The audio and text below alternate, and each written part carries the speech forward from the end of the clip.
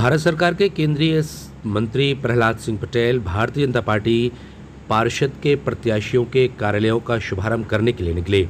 वे नया बाज़ार नंबर एक में भारतीय जनता पार्टी कार्यालय का शुभारंभ करने पहुँचे और वहाँ पर मीडिया से चर्चा के दौरान उन्होंने बातों ही बातों में अपनी बात कही।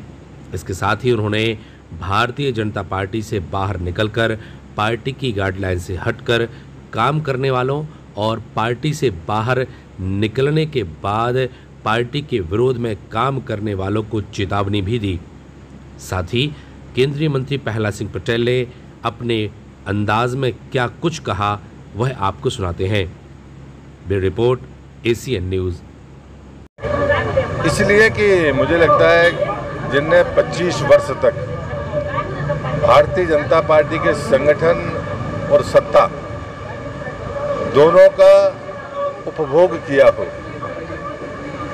वो कहीं पर भी प्रत्यक्ष या परोक्ष योजनाबद्ध ढंग से अगर पार्टी की सामर्थ्य को चुनौती देते हैं, उसे नुकसान पहुँचाने की कोशिश करते हैं तो ये बात कार्यकर्ता को बतानी होगी।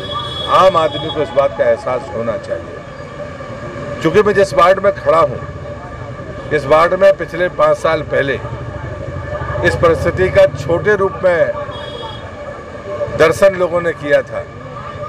आज वो लगभग पूरा शहर देख रहा है।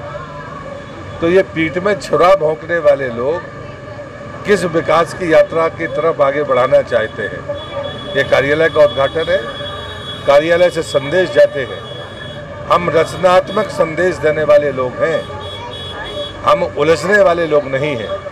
लेकिन कोई अगर चुनौती देता है या धोखाधड़ी करता है तो बेनकाब करना लोकतंत्र का सबसे बड़ा हथियार है।